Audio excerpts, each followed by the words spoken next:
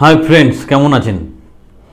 আজকের এই ভিডিওটা আমরা তৈরি করেছি আইসিটি কম্পিউটার টিচারে যারা অলরেডি পরীক্ষা দিয়েছেন বোথ দ্য কোম্পানিজ মানে স্কুলনেট এবং এক্সট্রা মার্কসের যারা পরীক্ষা দিয়েছেন, তাদের রেজাল্টের ব্যাপারে কি আপডেট আছে বা জয়নিংয়ের ব্যাপারে কি আপডেট আছে, আমরা অলরেডি এর উপর ভিডিও তৈরি করেছিলাম, কিন্তু কিছু মডিফিকেশন বা রিসেন্ট আপডেট আসার জন্য আরেকটা ভিডিও আমাদের তৈরি করতে হলো। প্রথমত আমরা স্কুলনেট বা এলএফএস এর ব্যাপারটা নিয়ে ডিসকাস করব। এইমাত্র পাওয়া খবর অনুযায়ী বিভিন্ন সোর্সে আমাদের ছাত্রদের মাধ্যমে যে খবর পেলাম, তাতে আমরা যদিও আগের ভিডিওতে বলেছিলাম যে ফেব্রুয়ারি মাসের শেষে রেজাল্টটা বেরোবে, কিন্তু এখন যে খবরটা আসলো যে রেজাল্টটা মার্চ মাসের মাঝামাঝি বেরোবে। মানে স্কুল নেটের আন্ডারে যারা অলরেডি পরীক্ষা দিয়ে বসে আছেন, তাদের মার্চের মিডিলে তাদের কাছে রেজাল্টটা পৌঁছবে। কীভাবে পৌঁছবে? আপনার যেভাবে অ্যাডমিটটা পেয়েছিলেন মানে আপনার কাছে একটা ফোন কল যাবে সিলেক্টেড হয়েছেন প্লাস আপনার মেলেও একটা মেল যাবে, আপনি সিলেক্টেড হয়েছেন। এইভাবেই আপনার কাছে কিন্তু ইনফরমেশনটা যাবে। আবার বলছি, আপনার মেলে একটা মেল যাবে সিলেকশন মেল প্লাস আপনার কাছে একটা ফোন কলও যাবে, যে আপনি সিলেক্টেড হয়েছেন। তখন কিন্তু আপনি কনফার্ম হয়ে গেলেন হ্যাঁ আপনি চাকরিটা পেয়েছেন। এটা একদম লেটেস্ট খবর, তো এই খবরটাই কম বেশি ফাইনাল ধরতে পারি। কিন্তু এর মধ্যে ইলেকশনের একটা ব্যাপার আছে তো তবুও সেইগুলো মাথায় রেখে খবরটা এইভাবেই আমাদের কাছে এসছে। তাই এক্সপেক্টেড এই টাইমেই রেজাল্টটা বেরোবে। এবং যথারীতি আপনারা জানেন, আগের ভিডিওতে আমরা বলেছি যে এরপরের স্টেপ হচ্ছে আপনাকে সাত থেকে দশ দিন মানে দু সপ্তাহের মতো একটা ট্রেনিং প্রোগ্রাম অ্যাটেন্ড করতে হবে। এবং সেটা পেইড ট্রেনিং প্রোগ্রাম সেই ট্রেনিংটা কমপ্লিট করে আপনি আপনার নিয়ারেস্ট স্কুলে জয়নিং পাবেন। এখানে অনেকে প্রশ্ন করছে, স্যার স্যালারি কেমন থাকে? অলরেডি আমরা মেনশান করেছি গ্রস স্যালারি এইট থাউজেন্ড মতো। মানে টোটাল আট হাজার টাকা আপনি স্যালারি পাচ্ছেন।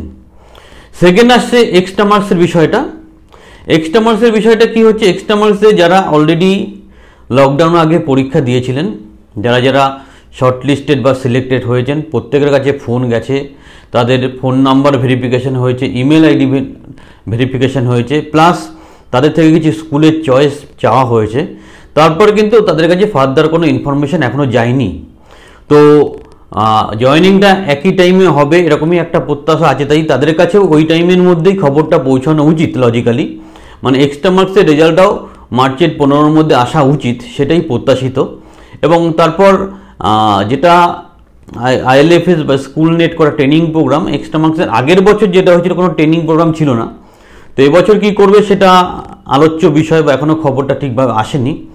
আর আমি অলরেডি মেনশান করেছি যে আপনারা যারা সিলেক্টেড হবেন, তাদের প্রত্যেককেই উইন্ডোজ বেস সিস্টেম নিয়ে কাজ করতে হবে। মানে আগে লাইনেক্সের উপর কাজ হতো, এখন উইন্ডোজের উপর কাজ হচ্ছে। মানে উইন্ডোজের উপর একটা সম্ভব নলেজ বা উইন্ডোজের যে অ্যাপ্লিকেশন যে বিষয়গুলো আছে, সেগুলোকে ভালো করে জানা দরকার। প্লাস টিচিং মেথোডোলজি প্লাস আপনার ভয়েস মডুলেশন কীভাবে কথা বলছেন বোর্ড ওয়ার্ক এই ব্যাপারগুলো সবগুলো খেয়াল রাখবেন। আপনি যখনই জানতে পারছেন, আপনি সিলেক্টেড হয়েছেন, তখন আপনি কিন্তু এই প্রয়োজনীয় প্রিপারেশনটা সাথে নিন। জানি সামনে ইলেকশনের ব্যাপার আছে, এটা আছে, সেটা আছে, তবুও তার মধ্যে নিজের প্রিপারেশনটা ঠিক রাখুন।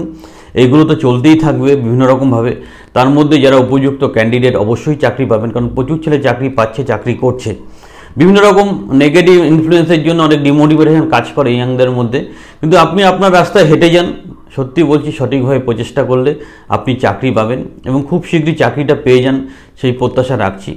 আর আমাদের এর আগের ভিডিওটাতে আমরা অলরেডি বলেছি, যারা এবার ব্যর্থ হলেন, হতাশ হবেন না, খুব শীঘ্রই মার্চ মাসের হয়তো শেষের দিকে নতুন যে প্রায় আঠেরোশো রিক্রুটমেন্ট হবে, তার নোটিফিকেশানটা আসার ব্যাপার আছে।